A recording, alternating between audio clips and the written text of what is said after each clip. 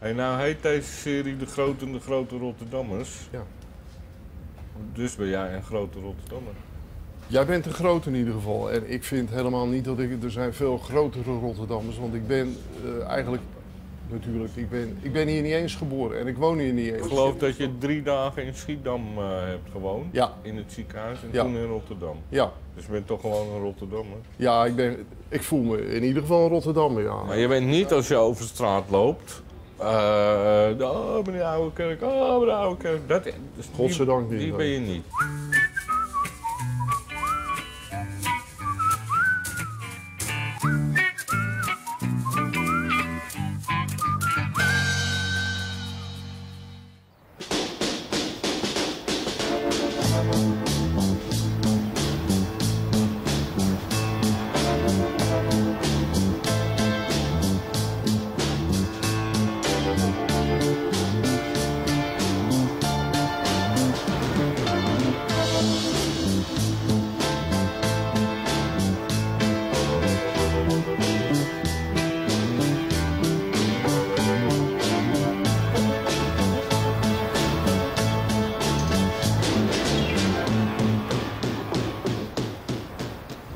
Is het pleintje waar jij woonde.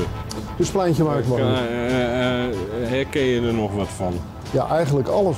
Dit hele rijtje is nog exact hetzelfde als in 1946 toen ik hier kwam wonen. Eh, je bent geboren in het ziekenhuis. Op een kraamkliniek in Schiedam. Op de Boerenhavenlaan. Ja, mijn moeder moest daar ook naartoe. Die was 40, 41 geloof ik al.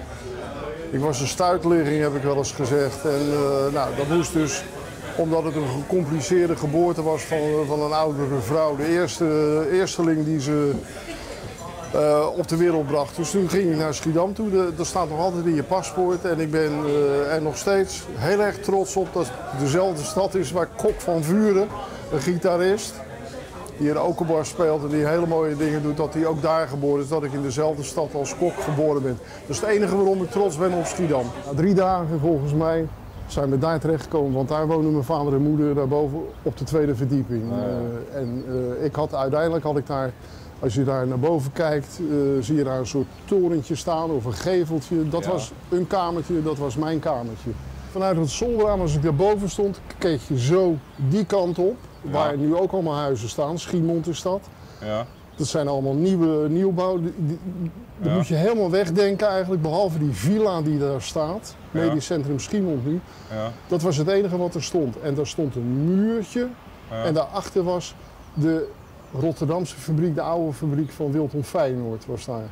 Oké, dus je keek niet op de Maas uit, maar je keek op de fabriek Ik kon een heel klein stukje rivier zien, niet al te veel. Maar als ik boven stond en bijvoorbeeld de Nieuwe Amsterdam van de 100 Amerikelijn of de Willem Ruis van de Rotterdamse Lloyd, die gingen naar buiten of die kwamen naar binnen. Ja. Die zag je zo voorbij varen. Dat Oh, was, dat was ongelooflijk. Ja. Dat, eh, ik had Ja. ook heel snel had ik al allerlei albums met eh, scheepsplaatjes. Oh, weet je wel. Bij de, bij de beschuit kreeg je dat of zo. Ja. Het was een heel kinderrijke buurt. Net na de oorlog. Ik ben van 46, dus ik ben net na de oorlog geboren. Dus ook een babyboomer. En er kwamen heel veel kinderen in die wijk. Dus je had heel veel vriendjes op eh, het straatje zelf al, het rijtje waar we wonen. Wat was jij voor mannetje eh, eh, toen je aan het opgroeien was? Iemand die wilde genieten, die wilde accordeon spelen, maar ook wilde voetballen. En die ook wel eens als er sneeuw lag, een sneeuwbal in een bakkerswagen van Bakker Jans flikkerde, weet je wel. Dat, ik was wel een buitenjochie. Ik was misschien ook wel een beetje, ja, organisatorisch type op een of andere manier. Ik wilde altijd toch wel vertellen wat we ook konden gaan doen. Als ze, als ze zeiden we gaan voetballen, ja, maar we kunnen ook daar gaan voetballen. En dan gingen we daar voetballen. En dan gingen we op een grasveldje in plaats van op een pleintje spelen, weet je wel. Ik zag altijd wat, wat, wat andere mogelijkheden en zo. Onderzoekend kind eigenlijk, dat, eh, ja. Hey, en di- dit is allemaal nog hetzelfde? eh? Dit is allemaal nog hetzelfde. ja? Zie je het, hier staat het nog op 1B. Wij woonden op, wij woonden op 1B, Hudsonstraat 1B. Oké. En daar woont nu de SV Health. Nou, Heath. Oude of Health? Oude Nee, Health. Heath. Heath. Heath, SV Heath. Oude, oude minister van Financiën in Engeland. In Engeland, ja. Ja. Ja. Ja. Of was het eh, eh, de minister-president? Dat kan ook hoor. Mr. Heath. Weet ik niet meer. Ja, ik Weet geloof dat, eh, Ja? dat het de premier was, Weet ik niet meer. Ik weet wel dat hij dood is. Ja, Dat zal wel, hè. ja. Maar dit, ja. Hier, hier heb ik gestaan. Hier zo op deze plek. Ja, Ik speelde vroeger, vonden mijn vader en moeder mooi, mondharmonica.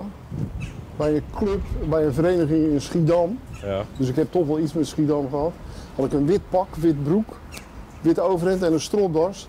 kwam de straatfotograaf die kwam langs om foto's te maken van mensen die er woonden eh, enzovoort. Heb ik hier gestaan met mijn mondharmonica. En er is nog steeds een fotootje van. Dat, eh, op deze plek, dat stoepje is nog even breed denk ik als dat het toen was. Dit was Café de Visafslag. ja. Dat heet nu Koffieshop Open. Nee. Open Sahara. Nee, Open Sahara. Over koffieshop Open Sahara. Ja, Ja, dat was een, Open. een café. Een, eh, hier kwamen dus allerlei mensen die, in de, eh, die bij Wilton werkten, Ja. havenarbeiders. Ja. Maar ook mensen die aan de overkant van de rivier bij de Rotterdamse Droogdok werkten. Ja. Dat waren bij elkaar misschien wel 8.000, 9.000 mensen met Ja. heen en weer bootjes overgezet Ja, de, de, de vader van André van Duin die, eh, die deed dat. Die Hadden ze werkte ge- bij de EDM. Hadden ze geld gebeurd, loonzakje één keer in de week. En dan kwamen ze hier op vrijdag eh, of op zaterdag. Kwamen ze kijken of het echt geld was. begonnen ze hier hun geld vloeibaar te maken. Ja. Dus, eh, En, men- en waarom heette het de visafslag? Omdat daar achter dat gebouwtje nu, ja. achter dat gemaal, Is dit een gemaal? haventje. Ik weet niet of het een gemaal is, het staat erop. Ik heb het eigenlijk nooit, want ik Ja, vind het is- afschuwelijk eigenlijk. Het beneemt zoveel uitzicht op. Dan zal het wel een gemaal zijn als het erop staat. Want als Ik het een het- koffiehuis is, dan zet je de koffiehuis op.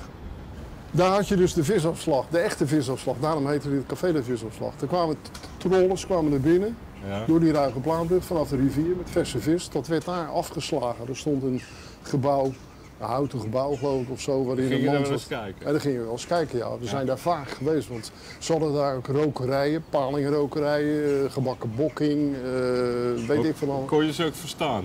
En, eh, nou, die vent niet. Die Nee? vent die, die was niet te verstaan, maar die, maar die vishandelaar... Hoezo, die- hoezo niet? Sprak ja, dat was een soort Bulgaars, dat die, of, of Latijn. Ik heb nooit begrepen wat die, wat die uitkraamde eigenlijk in die... Ja, een bepaalde veiling, een bepaalde afslag. eh, Ja, en die, en, eigenlijk en die het die, was. eh, die vishandelaren die verstonden dat. En, eh, die verstonden dat wel. ja, En, eh, leuk. altijd met eh, brokken ijs, met broje ijs, weet je wel. Dat werd allemaal eh, kapot geslagen. Ah. Maar we gingen daar palingen gingen we erop halen. Want er Ja. bleef altijd wel wat over. Dus, eh, we hadden, Oh ja? ja, dus we haalden ook wel een palingje mee naar huis. Dat, eh, Leuk. Leuk. Dit is de Watergeusstraat. dit is de? Watergeusstraat. Ja. Beroemd vanwege André van Duin, maar die woonde helemaal aan de andere kant. Helemaal aan de andere kant, Ja. helemaal in het begin. Ja, ja. In het eerste blokje vanaf de Schiedamse weg. Ja. Know, Dus bij de ongeveer. Jan naartoe. Maar, eh, dus dat was jullie woning daar? Dat was onze woning daar. En het kleine En dat- raampje dat daar zit, dat je, dat je daar nog ziet, dat was de slaapkamer van mijn vader en moeder. Mijn vader die werkte bij Wilton Feyenoord, die was eh, verhalen. En wat is verhalen? Verhalen was iemand die ervoor zorgde dat schepen op de goede plek kwamen te liggen in de kade. Van die hele grote schepen, eh, boten noemden we dat natuurlijk. Eh, en die zorgde dan voor de trossen die naar beneden werden gegooid, die om de goede bolders kwamen te, kwamen te liggen. Zo'n tros die werd om Ja, een bolder geslagen. En, en dat deden ze met een paar man. En, eh, Maar is dat een dagtaak dan? Het is toch gewoon van kom maar hier en Ja. een paar van die tuintjes Nou, er zaten wat roeiers beneden, die, die zorgden... Ja, dat was toch wel een dag van de Oh, ja? een man of 15 geloof ik in continu dienst. Dat, eh, ja, ze waren ook heel vaak s'avonds en s'nachts Ga weg man. Er lagen altijd, altijd wel eigenlijk een schip of 4, 5 voor die kade. Dat, eh, dat herinner ik me wel. Er heeft hier een tram gestaan, maar de tram in mijn jeugdjaren, die kwam daar. Dat was lijn 15 op de Ruige Plaatbrug. Ja. En daar kwam mijn moeder altijd uit als ze was wezen werken bij de familie Fok. De familie Fok. Eh, dat waren de grootouders en de ouders van Annemarie Fok, de vrouw van Jules Deelde. Ja, ja. Dus, dus het klopt dat Rotterdam eigenlijk één groot dorp is. Dat klopt, absoluut. Jongen, jongen, eh, eh, Al die mensen die ik interview, eh, die hebben weer een verbinding met die, die hebben weer een Ja. verbinding met die, die hebben weer een verbinding met Ja. die. Ik was altijd wel goed in opstellen maken en zo. Ik hield wel van schrijven, dat gebeurde dan echt nog met schrijven. Ja. En eh, ik weet dat de juffrouw Nederlands, eh, die wij hadden, de lerares, op de Maarten HBS op Schravendijk wel een keer vroeg... eh, de- wat wil je laten worden? Toen was ik een jaar of 13 denk ik, want toen woonde ik net op Zuid. En, en dat ik toen zei journalist. En ik wist waarschijnlijk niet eens hoe je het schreef. Dat is wel handig voor een Dat journalist. is wel handig, ja. Dat, Ja. eh, Als je en niet weet hoe je journalist maakt. Vanaf dat moment ben ik eigenlijk gaan schrijven, ook voor de schoolkrant. Die we hadden natuurlijk, die één Ja. keer eh, in de maand of twee maanden verscheen. Ja. Stukjes over, eh, over dingen die ik daar meemaakte. Ja. Eh, of die ik zag. Ik woonde toen op Charloes, dus ik moest iedere ochtend eh, de Maastunnel door op de fiets eerst. En daarna, later toen ik 16 was, op de Solex. Ik heb eh, een stuk gemaakt over hoe de Maastunnel tot, eh, tot stand was gekomen. eh, hoe die was gebouwd en zo. Dat, hoe die in de oorlog is opengegaan. En dat Met het jongetje. met het jongetje die illegaal doorheen liep enzovoorts. Dat, ik weet niet hoe die, meer die schoolkrant heette. Volgens mij de paddenstoel of zo. Maar dat soort dingetjes schreef ik dan op.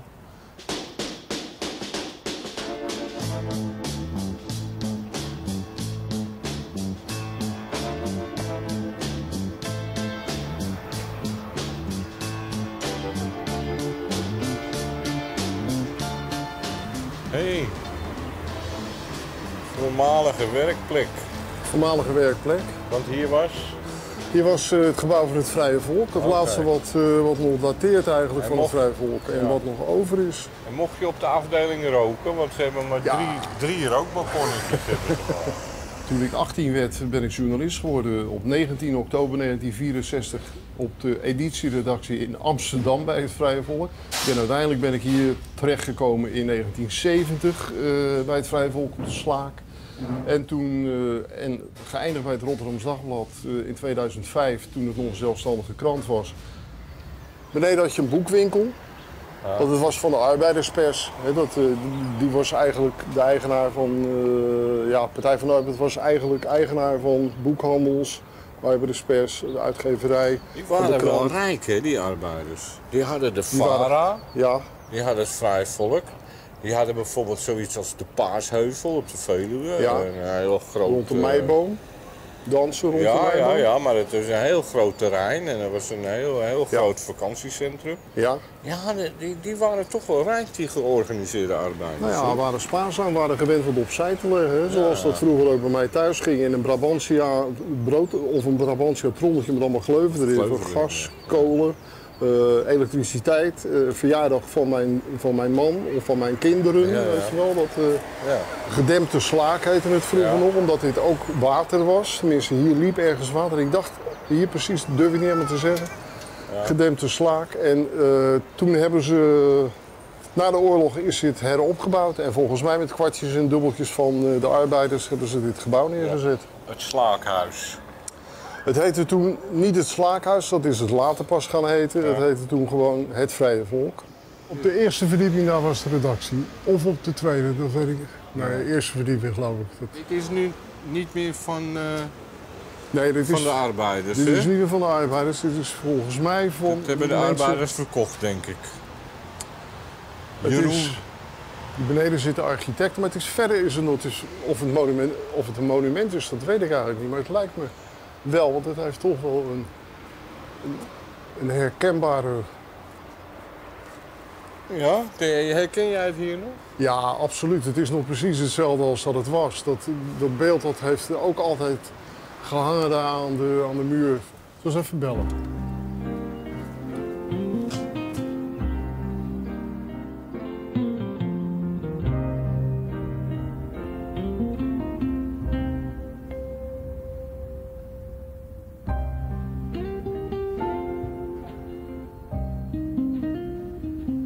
Wij zitten hier dus anti-kraak, Ja. maar ondertussen is, is Jeroen de architect gewoon en wij bakken er iets van. Ja, daarom stond ook Ja, ja, ja, ja.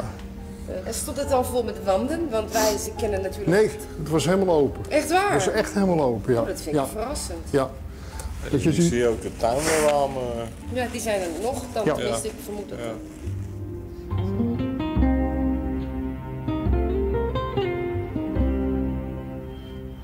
De eerste Europa Cup triomf van Feyenoord hebben we hier eh, vanuit gedaan. 5 mei eh, 1970. 8 mei 1970. 8 mei? Ja, 8 mei. Dat, of 6 mei. 6 mei 6 mei. 1970. 6 mei, 6 ja. mei. Drie verschillende koppen hadden we klaarstaan. Dikke chocoladeletters, groter dan de Telegraaf ze ooit had kunnen maken. Met als belangrijkste kop, we hebben hem.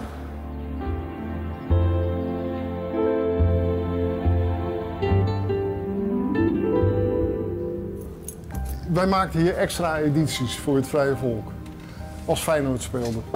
Gingen we bij het stadion staan met de eerste helft en in de stad met de volledige wedstrijd. We maakten hem dus ook met de Europa Cup finale Feyenoord eh, Celtic in Milaan. En dat bleef heel lang gelijk, 1-1. En we moesten dat natuurlijk zo snel mogelijk moesten we dat, eh, gezet hebben. Want hier was de drukkerij, hier werd het gezet. Hier stonden alle machines. Dus ik liep vast naar beneden toe met de kopij dat de wedstrijd gelijk was geëindigd, werd voortgezet over twee dagen. En ik kom beneden en ik zie een hele zaal, een hele drukkerij vol allemaal juichende, juichende grafici staan. Want die hadden allemaal naar een klein televisieschermpje staan kijken en naar de radio eh, staan luisteren. Dat Feyenoord gewonnen, dat Over Kindval die goal had gemaakt. Dus waardoor Feyenoord eh, de eerste Europa Cup voor Nederland had gewonnen. Dus ik moest onmiddellijk weer terug. Ik heb die... Ik heb het nooit live gezien, Ferry, want ik praat er wel over, maar ik heb het nooit live gezien. Dus ik moest weer terug om nieuwe een nieuwe lead te maken. Maar ik geloof wel dat je nou voor de zesde keer hebt gezegd dat Feyenoord de eerste Europa Cup van Nederland had. Welke club? Ik weet Jongens, nou ophouden. Ja, ja, ja. Nou, nu is het gezeik eh. Maar de, hier Maar was dit de was- drukkerij. Hier ja, was de dit is drukkerij. ongelooflijk. Dit was de drukkerij. joh. Jezus. Is onvoorstelbaar. Hier, hier stonden de persen.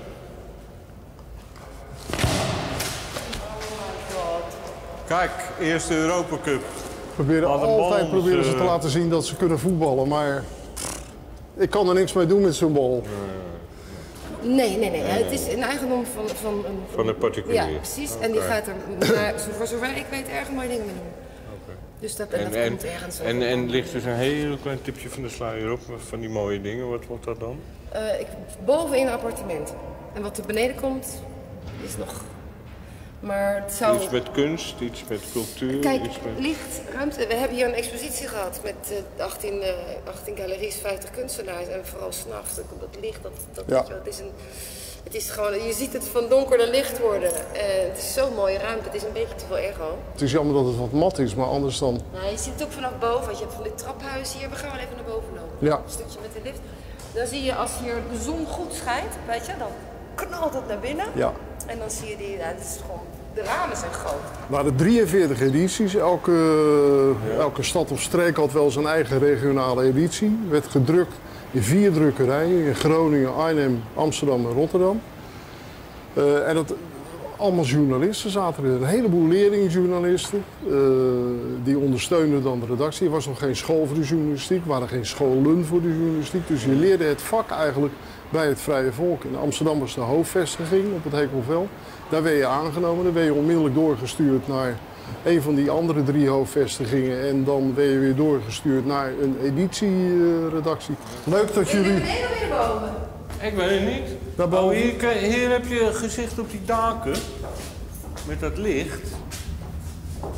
Kijk, ik weet niet hoe ze dat vroeger deden, maar ik denk dat ik als redactielid wel ergens hier buiten zag in de zon. Denk je niet? Nou, dat denk ik ook wel, ja.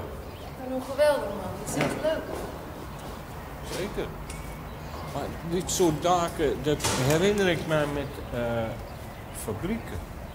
Verkadefabriek geloof ik, dat die ook zo'n soort dak had. Dit Dit is de eerste. eerste. Ja. Ik zou zeggen, dit is hem, maar als ik boven ben, dan zie ik ongetwijfeld Nee. dezelfde. Het zijn allemaal dezelfde. Er is één groot verschil. Eh, zover ik- Dit is boven anders. Deze hoek is boven anders. En, en een etage staat een grote kluis. Zegt je dat nog iets? Nee.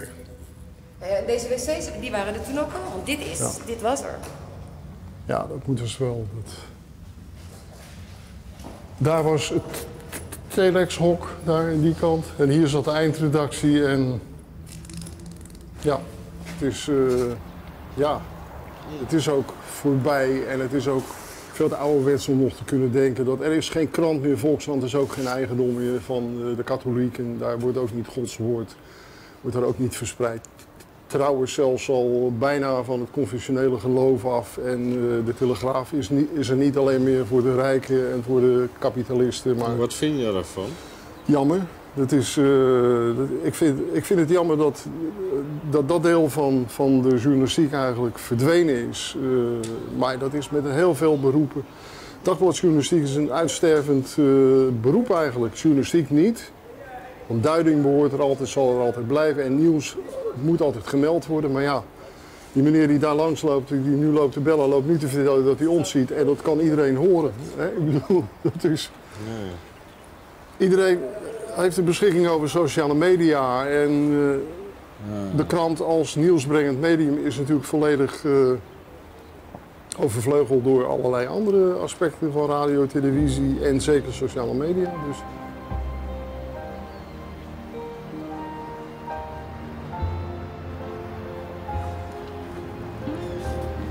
Hier ben jij nog nooit geweest, eh hier, ben ik, hier ben ik volgens mij nog nooit geweest. Nee. We waren altijd aan het werk.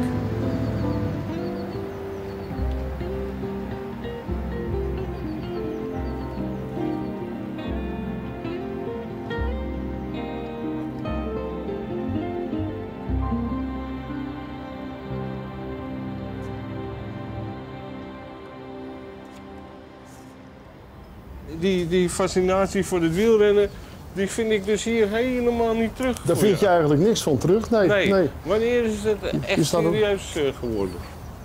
Eh, eigenlijk al vrij snel, 1954, toen de Tour hier voorbij kwam in Rotterdam. Het AD wilde Dus die, op, de, eh, de vaart en volkeren opstoten. Ja. Die zag in de Tour de France zag hij een mooie gelegenheid. Die had als correspondent in Frankrijk had hij Ruud de Groot. Ruud de Groot was getrouwd met een Française. Die was goed bevriend met de tourdirectie, Levitan en Godet op dat moment. Ja. En die eh, zei van, ik weet dat de Tour volgend jaar het liefst in het buitenland start, want dan kunnen ze wat meer geld beuren. Frankrijk heeft niet zoveel geld. Is dat niks voor jullie, voor het AD, voor Rotterdam? Ja. En die pluigers die is naar Van Walsum toe gegaan op het stadhuis. Die was toen burgemeester en die zei van het kost je 100.000 gulden om eh, hier de start van de Tour te krijgen. En die Van Walsum zei deze stad heeft wel iets anders nodig dan een paar van die maffenwielen. Nou, maffen zal hij niet gebruikt hebben, want dat was zijn taal niet. Dus die zei van dat doen we niet. Nou, mo- moet ik zeggen dat meneer Van Walsum 100.000 gulden in 1954 was toch een behoorlijk, eh, Dat was een behoorlijk bedrag. behoorlijk bedrag. Maar Maar, en het was hier in elkaar gepletterd. Ja, Dus ik denk dat inderdaad eh, die meneer Van Walsum wel een punt had. Of vind jij van niet? jij bent natuurlijk blij dat die tourstart toen in Amsterdam is. kan eh, maar geen reet schelen. Nou ja, goed, maar ik Dat hoor altijd maar toen. van. Maar de echte geschiedenis ligt dus hier van de Tour. En niet in het Olympisch Stadion, dat helemaal hartstikke vol zou hebben gezeten bij het vertrek van, van, de eh, Tour. van de Tour. Want als je de beelden ziet, dan zitten er misschien 15.000 mensen en zo. Ja. Ja, nee, maar wat is daar nou belangrijk aan? Dat Rotterdam eh, of Amsterdam de eerste toerstad heeft? Als Rotterdam de eerste toerstad had gekregen, dan had ik misschien wel daarover geschreven al in de schoolkrant in, eh, in 1954. Oh, ja, dat was historisch wel een omwenteling geweest. Ja, precies. Dat, Ja. eh, dat is helemaal waar. Dat. Toen hebben we dus, want ik zat op school op het Bospolderplein. Toen mochten we van een meester ja? mochten we naar de Tour gaan kijken. Toen hebben we op de hoek van de eh, Albrechtskade en de Nieuwe Binnenweg... Ja? heb ik daar tegenover de Krijnborg en het postkantoor zat er geloof ik... hebben wij staan kijken naar de doorkomst van de Tour de France. Dat Ja. was zo voorbij. Ja, ja, leuk. hè. Yvette Horner stond toen te spelen. Hey, hoe mooi is die, hè? Dit is een fantastische mooie molen eigenlijk. Hè? Ja, hè? Ja, ja. Maar kijk eens. Zo met de euromast erachter. Ja. Ja. Ja, dat is, eh, dat is een hele mooie molen. Die is volgens mij, eh, of die nou ook in de fik heeft gestaan, dat weet ik eigenlijk niet meer. Maar ik heb hem wel in slechtere staat gezien. Er is hierachter, hier op, daar op de hoek had je de suikerfabriek van Van Noord, Ja. van de suikerzakjes.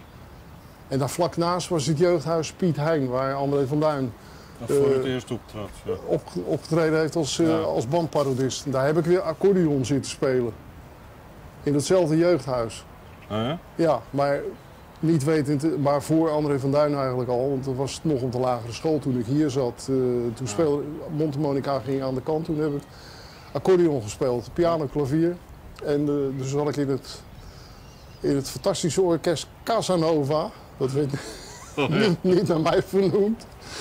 En ook niet naar mijn vader. Uh, en nou, daar speelden we fantastische dingen. Uh, en in datzelfde jeugdhuis eigenlijk. Dus later toen ik begreep dat André van Duin daar begonnen was als bandparodist eigenlijk. Toen dacht ik van nou, dat is bijkomstig ja. ja. ja. ja. Waar werd die molen voor gebruikt? Uh, voor water wegpompen? Of, ik denk specerijen. Nee, het is echt een molen met, met maalstenen. Dat, of, of meel. Maar daar, daarachter dat jeugdhuis en die fabriek van Van Noord, er stond ook een molen. En die is wel afgebrand, dat weet ik wel. Daar zie je nog de resten eigenlijk van staan. Dat, maar daar, daar zat toch ook uh, jenever... Uh... Jeneverstokerij van Henkes was je daar, ja. ja. Dus oud Delfshaven. Dat, dat, kan hier ook gemalen zijn natuurlijk, die rotzooi. Ja, ja, precies. En hier stond dus die fabriek van Tromp en Ruup.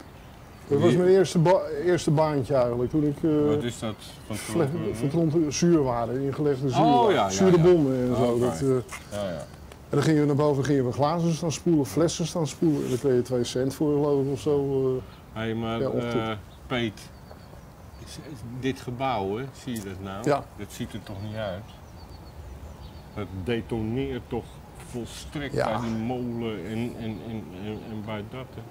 Ja, maar ja, dit is wel Rotterdam natuurlijk, hè Ferry. Het is niet allemaal oude meuk. Ik bedoel, af en toe hebben ze wat tegen de grond gegooid en uh, ja, dan hebben ze nieuwe dingen neergezet. Het, Dat is deze stad, hè? Afschuwelijke balkonnetjes, joh. Het moet volgens mij een blinde architect zijn geweest. Nou ja, het volgende opdracht was gewoon... Of, of een Noord-Koreaanse... Dat is jammer, ja. ja. Als je nou dat stukje ziet waar jij opgegroeid bent... En, eh, het kan zijn dat het gerenoveerd moet worden. Dat, uh, dat moet het, absoluut. Ja, maar het is toch veel mooier en oorspronkelijker, ja. sfeer, rijker dan dit soort uh, in elkaar getimmerde ja-nee brievenbus.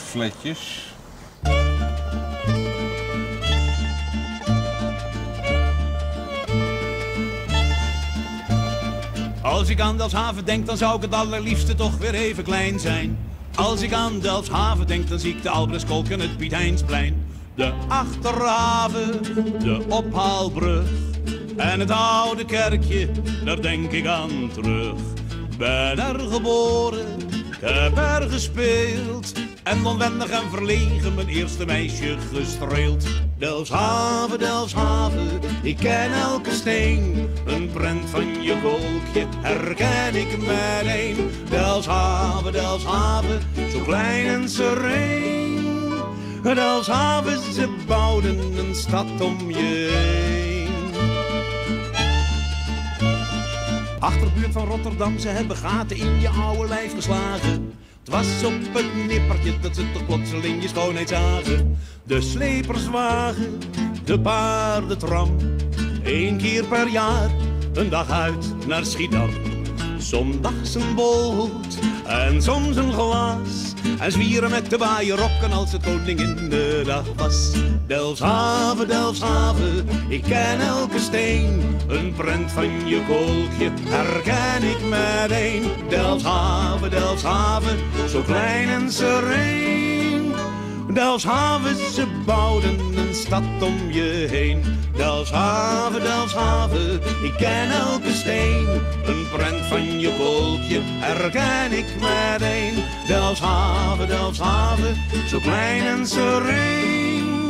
Delfshaven, ze bouwden een stad om je heen. Delfshaven, ze bouwden een stad om je heen. Delfshaven, ze bouwden een stad om je heen. Delfshaven. Dus je was een intelligente man en toen was je een jaar of twaalf en toen werd het... Martinez HBS, naar de HBS. Ja, ja, en dan lopen we nou langzamerhand? Dan lopen we nu we lopen vanuit de Schermlaan. Lopen we, hier was vroeger trouwens mijn kapper, hier zo in de Schermlaanhoek. Ah, okay. Ja. Daar aan de overkant, achter dat beeld van, van het Hof.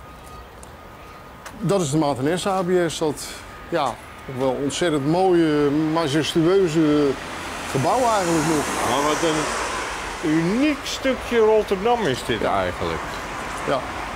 Dit heeft een, een, een, een paleisachtig, ja, ik weet niet hoe ik het moet zeggen, maar met dat beeld daarvoor en die, eh, die huizen die daar eh, van de grote weg afstaan. Ja. Het heeft iets buitenlands ook, vind ik. Ja. Iets, eh, je zou het als het ware zo naar Frankrijk kunnen exporteren. ja, absoluut. Ook met een mooi beeld ervoor. Ja. Weet je wie dat is eigenlijk? Van het Hof. Van het Hof. En wie was van het Hof? Die deed toch iets met, eh, met stoffen, met... eh, eh, Chemie, ja, scheikunde. oké. Hij had toch de Nobelprijs? Dus dat heb je helemaal goed. Nobelprijs in... Ja, want ik heb toen... Ik heb twintig jaar geleden eh, nog die hele grote encyclopedie eh heb ik gekocht. Ja. En daar kijk ik dat allemaal in na. En daar staat hij ook in. Ik zie daar twee paranimfen zie ik zitten. Ik dacht dat het er vier waren. Of ze zijn verdwenen, of ze zijn uitgevlogen, of het waren er echt maar twee. Maar ik weet de reden en verbeeldingskracht. Maar wat hebben die met zijn beeldenis te maken dan? Dat stond aan de basis van zijn kennis, denk ik, van zijn wetenschappelijke kennis. Ja. Er staat daarboven staat hogere burgerschool in die, in die gouden letters, zie je? Oh ja? Dubbel O. Is toch maar met één O? Ik zie twee O's staan daar. Ja, Ja. nou, een lekker schooltje dan.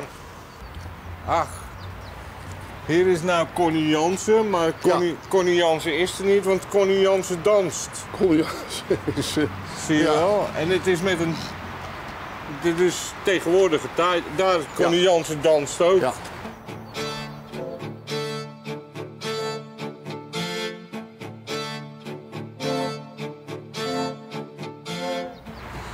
Jansen is een choreografe. Dit is een gezelschap dat door heel Nederland reist eigenlijk met voorstellingen. En ze maken hele mooie voorstellingen. Je had in Rotterdam, in de periode dat ik op de kunstredactie zat, had je zes dansgezelschappen. Rotterdam was werkelijk waanzinnig populair met dansen toen. Dansateliers, danceworks, Pietrogie.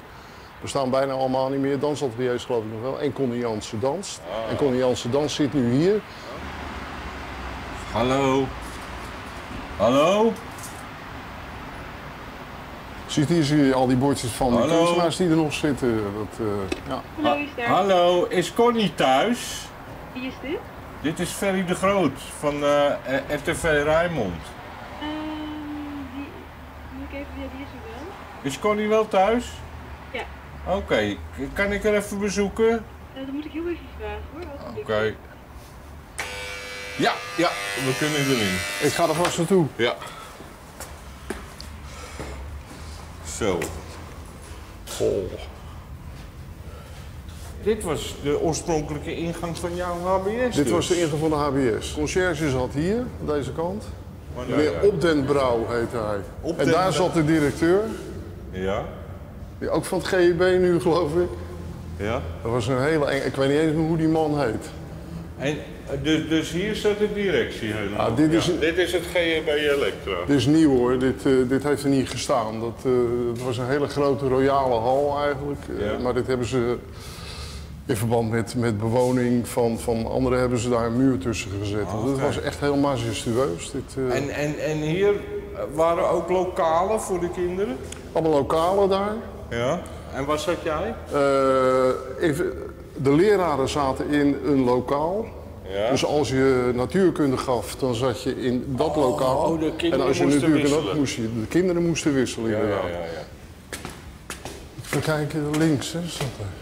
Hadden we feesten, er werd natuurlijk toch alcohol binnengesmokkeld. En dat mocht allemaal niet. Maar schoolfeest één keer in de maand, de Naston. Orkest altijd Dixieland muziek. Dat, dat regelde ik meestal. We hebben de Perdido Street Parades, weet ik nog. Winnaars van het Loosdrecht Jazzconcours Ja. in 1963, 64.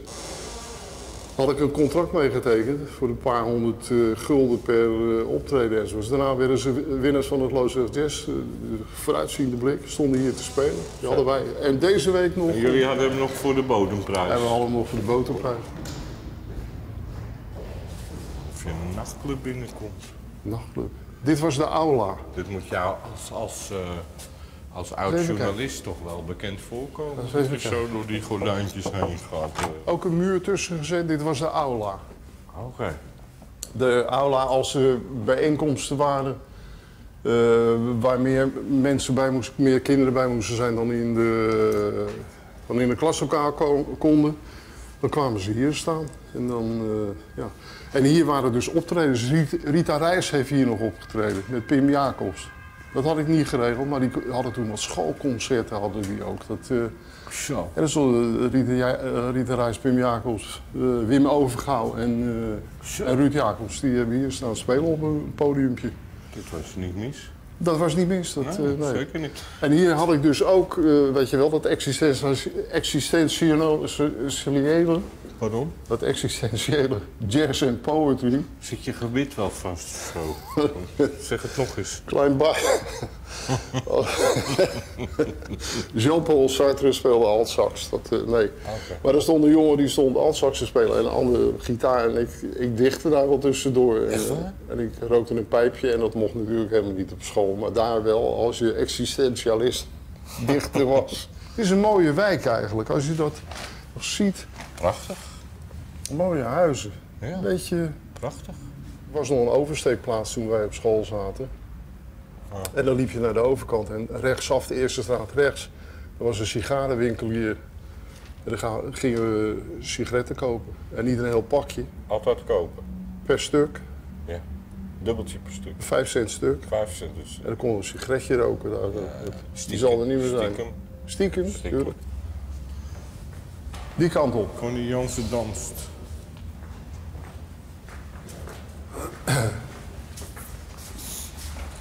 Hier ook een kleedkamer. Ja. Ga nou op alle deuren, Peter. Ah, hier is het lekker warm. Ga nou op alle deuren zitten rammen. Hallo, dag. Oké, Oké. ja. Goeiedag. Hallo, hallo, hallo. Mogen wij heel even binnenkomen? Dag. Hallo. Ik ben Peter Ouwerkerk. We kennen elkaar van, van, van 15 jaar geleden of zo, toen ik Veel bij het groot. Rotterdam werkte. Nou, laat maar wat zien. Oh, wacht even. Hoi. ik werk hierboven. Ja, Mijn studio. dat is het oude t- tekenlokaal, is dat? Nou, Vroeger was dat je een teken. mee naar boven nemen als je dat leuk vindt. Heel graag, ja, wil ik graag nog Ik, even denk, zien. ik, weet- ik weet niet, oh, dat vind ik wel leuk, want dat kan je me dan vertellen. Hallo Johan. Hoi.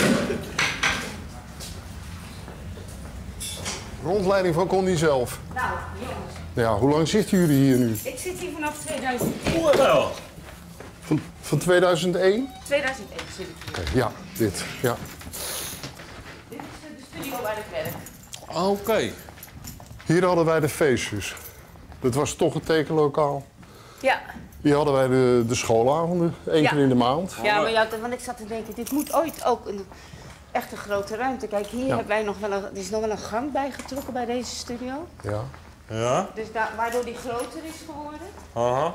Dat heb ik niet gedaan overigens hoor. Dat is al, eh, dat is door de, f- niet, toen ik binnen, toen ik hier inkwam was het al zo. Dit stuk is erbij getrokken dan dat denk ik als ik Ja. naar het, eh, Zijn er een paar Omdat leerlingen van je boos geworden? nee, het komt door de zon. Ik dacht ook, wel, hoe komen die spiegels nou allemaal kapot? En toen ineens stond ik erbij en toen hoorde ik knap. En toen keek ik ernaar. En dan was het hier heel erg warm door de zon. Oh. Ik heb hier heel vaak, dan zijn we aan het repeteren. En dan zo, zo tegen het einde van de dag, hè, zo, eh, ik repeteer tot zes uur met de dansers. Dan kan het licht soms zo verschrikkelijk mooi zijn. En zeg Ja. jongens, even stoppen. Even kijken. Even kijken. Even het licht voelen.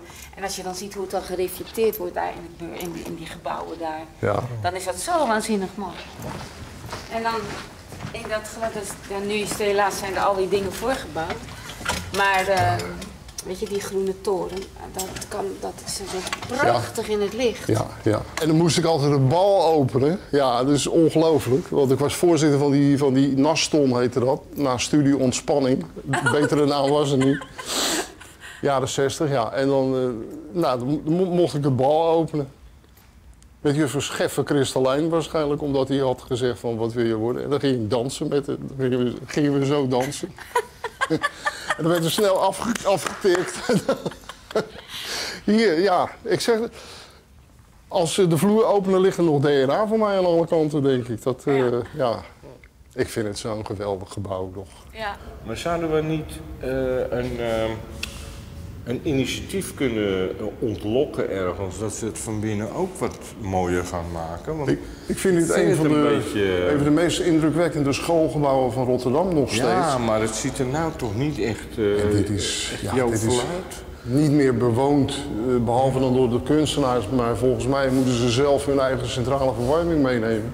Want Ja, het is ja. ijskoud. En, eh, maar de lokalen zijn zo mooi. Ja, je zou hier zomaar eh, bijvoorbeeld ook een hotel van kunnen maken. Maar je zou hier ook appartementen zou je hier kunnen doen. Wat ze en terug hier aan dezelfde Slavendijk wel de Henegouwenlaan hebben gedaan met eh, het voormalig gerechtsgebouw. Scheidende wielervedette Jan Jansen, eens winnaar van de Tour de France. En de Belgische coureur Eddy Merckx, meer dan eens winnaar van de Tour de France, kregen bloemen voordat Eddy Pieters Graafland het startschot loste voor de derde Rotterdamse Zesdaagse in het Ahoy Sportpaleis. Zesdaagse is iets te veel gezegd voor dit wielerevenement, dat eigenlijk een internationale zesavondenwedstrijd genoemd moet worden. Want er wordt alleen tussen 7 uur s'avonds en uiterlijk 3 uur s'nachts gereden. Maar dan gaat het meestal ook wel hard. Want telkens opnieuw worden er premies uitgeloofd waarop de koppels bijzonder fel jagen. Het luik was hier volgens mij. Nee, nee, nee, nee, nee. Het luik was daar. Daar? Daar is het podium, daar was ook het luik. Oké. Ja. Hier was. eh, eh, hier, hingen, eh, hier waren de plaatsen voor de brandweer en de EHBO. Oké. En als je goede relaties in Ahoy had, kon je altijd daar voor niks zitten. Oh ja, ja, ja. ja. Ik heb, voor de Eagles heb ik betaald, heb ik daar gezeten. Maar ik heb ook één keer de Eagles daar gezien, ja. En nog veel andere concerten. Neil Young en... Ik ben één keer bij eh, Lee Towers geweest.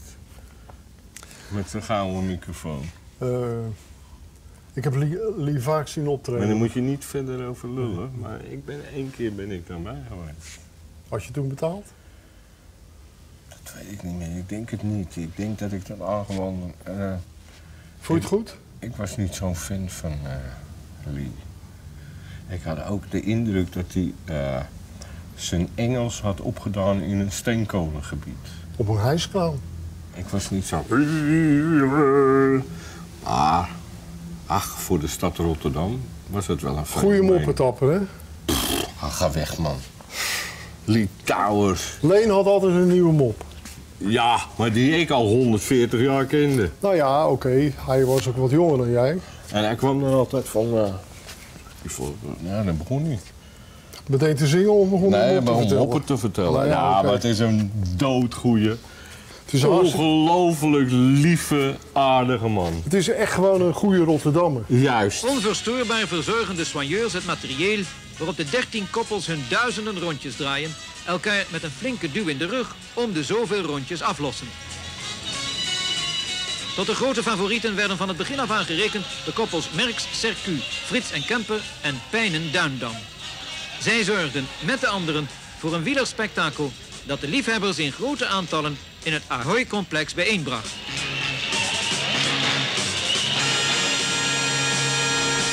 Jouw belangstelling voor eh, wielrennen, heeft dat met Ahoy te maken? Of... Ahoy was er nog niet toen ik voor het eerst op de, de sportredactie van het Vrije Volk, de landelijke sportredactie van het Vrije Volk, onder leiding van Evert Griffhorst. Oh, ja, oud Eh, ja. voorlichter. Toen, eh, ja precies, met Wim Jesse en Henk Lichtenveld, oude corriveeën op die sportredactie. Daar zat ik toen ook als jong broekie. Eh, toen ben ik de, eh, de wielersport gaan overnemen van Ger Schuurman. Nou, toen kwam in 71, eh, kwam, eh, op 16 januari 1971 is de baan hier geopend. En ik heb hem vanaf het begin zien bouwen eigenlijk. Dat, eh, ik heb hier met, me, met mijn voeten in het cement gestaan, eh, inderdaad, toen het gebeurde. Dit was allemaal park, hè? dat was een deel van het Zuiderpark. En het werd toen tot ergernis van allerlei volkstuinders werd dat toen opgeofferd aan een groot sportpaleis. Dat, eh, dat inmiddels is uitgebreid met nog een stuk of vier grote hallen. Dat een immens complex is geworden eigenlijk. Dat, En dat, ja, toen werkten we hier. Toen was het Vrije Volk inmiddels teruggetrokken op, eh, op Rotterdam. En toen heb ik al die zesdaagse die er zijn geweest, heb ik eigenlijk eh, ja, verslagen. Daar heb ik in rondgelopen. En we schreven niet echt over de wedstrijd, maar wel over de dingen die er rondomheen gebeuren. En af en toe ook eh, de wedstrijd. En als het moest, ook heel kritisch. De Zesdaagse van Rotterdam kent als vanouds vele mooie onderdelen, zoals de koppeltijdrit, de derny races en de afvalkoers. Maar het grote verschil wordt natuurlijk gemaakt in de koppelkoers. De winnaar van vorig jaar, Nicky Terstra, hier in het witte shirt, is natuurlijk weer van de partij, maar ditmaal zonder zijn maatje Iljo Keijsen, die geopereerd is aan zijn lies. Nu vormt Terstra een koppel met Juri Havik en geldt het duo als titelkandidaat. In de eerste koppelkoers van de avond laten ze zien waarom. Terpstra laat iedereen achter zich en komt solo over de finish.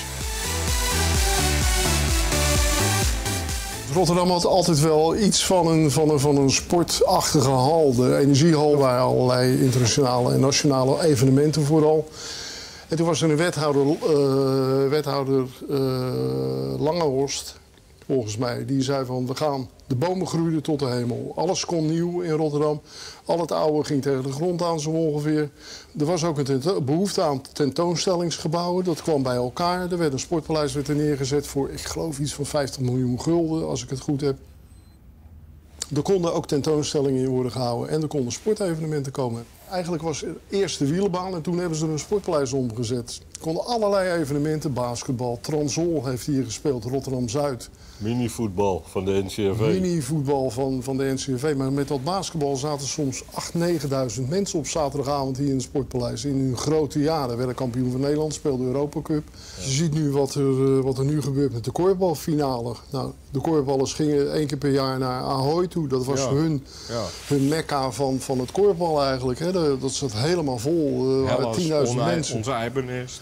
Precies, de PKC, uh, ja, Detos, weet ik vooral. Al die ploegen, die gingen, dat was een groot familiefeest. Dat, uh, dat ook door de NOS werd uitgezonden. Niet live, maar toch. Die sport die heeft zich hier jarenlang thuis gevoeld. Uh, het korfbal heeft zich hier thuis gevoeld. De mensen hebben zich hier thuis gevoeld. En wat gebeurde? Die korfbalfinale die is nu volgend jaar in, volgens mij, het Ziggo Dome in Amsterdam.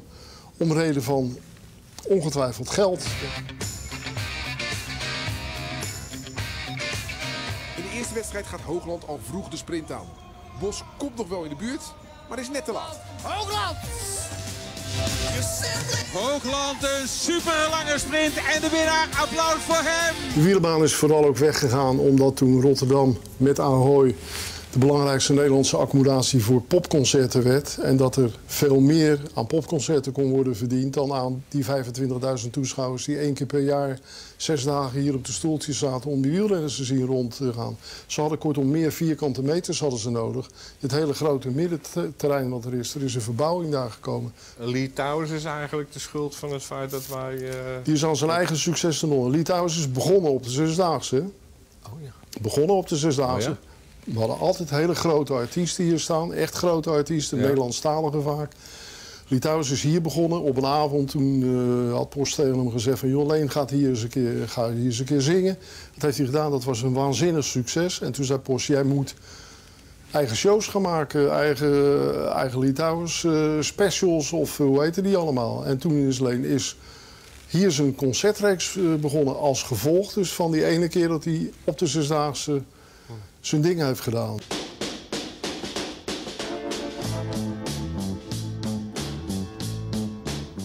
Je hebt ook heel veel boeken geschreven over wielrennen. Ja. En uh, hoeveel, hoeveel keer heb jij de Tour de France in Frankrijk meegemaakt? Ik heb 29 keer van begin tot eind meegemaakt. En ik ben daarna ben ik, uh, na 2000 ben ik elk jaar nog wel een keer terug geweest. Uh, en dus ik heb bij elkaar ook zo'n stuk of 45 tours gedaan, ja, van 71 af. Behalve die van 2000, nee, behalve die van 1980. Oh, dat was dat Joop Zoetemelk won. Wonder eindelijk een Nederlander was jij er niet? Ja. Ah. Ja. Wrijf het er maar even lekker in. ja, ja, ja. ja. ja. Hey, maar... En weet je waarom niet? Omdat ik gewoon op dat moment dacht dat Zoetemelk die Tour nooit zou winnen. Zoals ik ooit eens een keer heb geschreven dat Federer de Hertog nooit Olympia's Tour zou winnen. En het jaar dat ik er niet was, toen won hij hem. En met Soetemel is precies hetzelfde gegaan eigenlijk. Maar we waren met z'n allen waren we de wereld aan het dienen. Want we gingen mooie reportages maken op de Olympische Spelen in Moskou. En dat was achteraf gezien. Eh, je moet nergens spijt van hebben. Uh, maar heb jij nou toch ook, als je aan die grote keukentafel van jou zit, hè? Ja. Uh, heb jij dan nog wel momenten dat je verlangt naar vroeger? Ja, eigenlijk altijd wel. Dus eigenlijk al, ik ben benieuwd, heel benieuwd wat er nu nog gaat komen eigenlijk. Dat, ja. uh, dat wel. Nou, ik kan je meedelen. Het meeste heb je gehad. Ja. Ik ben over de helft, volgens Ja, mij. meer, meer dan. Ruim ja, over de helft, ja, ja. Maar vroeger, ja, vroeger was alles anders. Dat, eh, niet beter, maar wel anders. Ik vind mijn verleden vind ik een, eh, vind ik een, eh, een ontzettend dierbaar verleden eigenlijk. Ik denk best nog wel aan vroeger, ja.